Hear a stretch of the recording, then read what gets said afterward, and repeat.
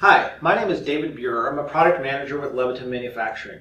Today I'm going to walk you through our Sapphire demo kit, show you the parts, the components, and talk to you a little bit about how we demo the product. So here's we have the demo kit, and when you order a demo kit, this is what you get. You get this whole bag, and everything I show you today is included in the kit. So today we're going to start by opening up. So inside the demo kit, we have all of the components. We've got the touchscreen, we've got color change kits, we've got display bases and the like. So when I'm getting things set up, I set out the base. We'll take the touchscreen out and set it in the base. Uh, when you set it up, make sure the Leviton logo is on the bottom. There's a power supply. Plug into the two-pin header. There's also a cable in the box that you use to plug into the wall. So for purposes of the demo here, I'm just going to plug it right here into our power outlet in the middle of the table.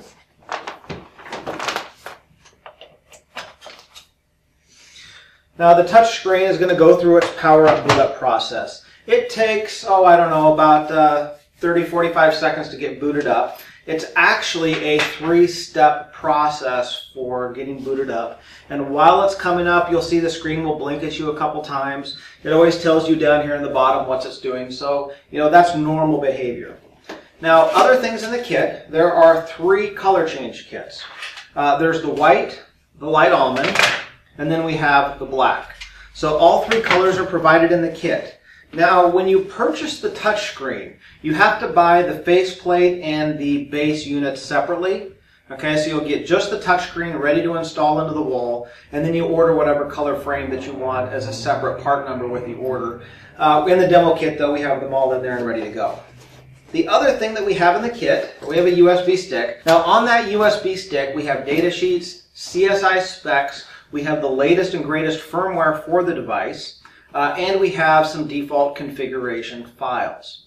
Okay, so what I'm going to do is I'm going to show you real quickly how to do a firmware update, uh, what that looks like, what the process is like. Then I'm going to show you how to load a configuration file. And then after that, um, we'll show you some bits and pieces about the touchscreen itself.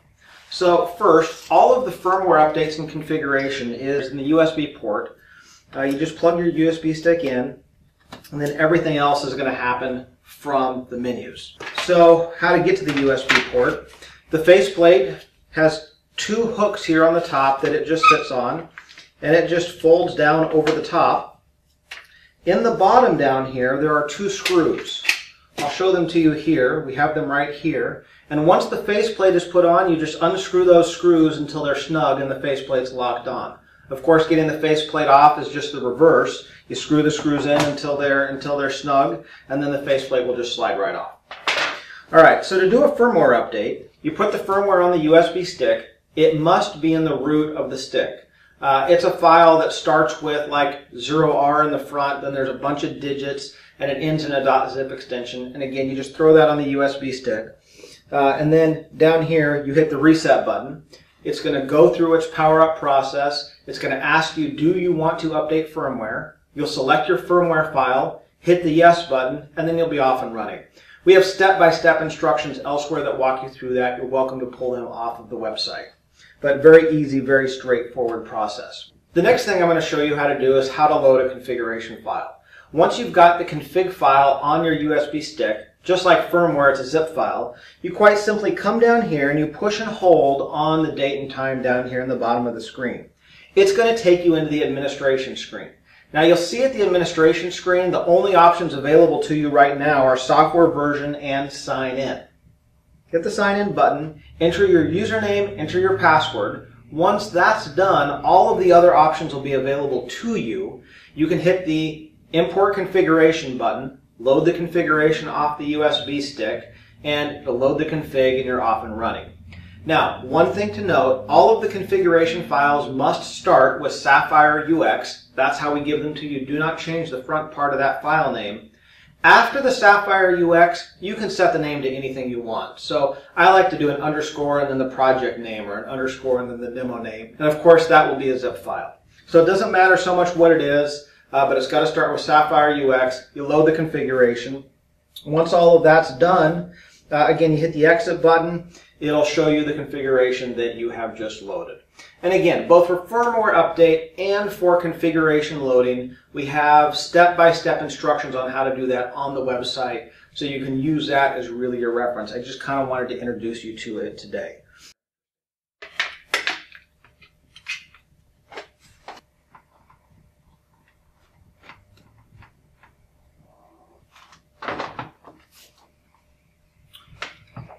Moving on through the demo.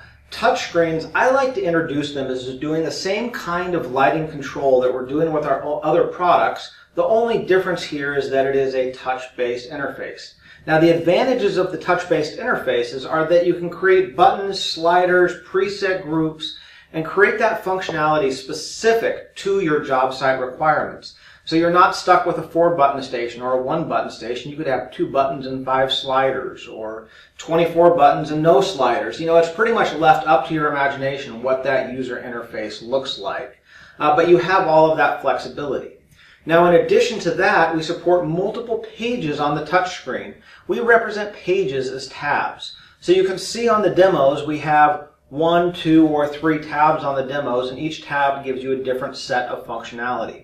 So when I'm demonstrating a, a touchscreen to somebody, I like to walk them through each of those tabs. I use them to show the uh, different functionalities that you can get, what a preset button is, what a preset group is, how that works, what is a toggle button, what's a raise lower button, and I just use those pages, each with different functionality to show how it works.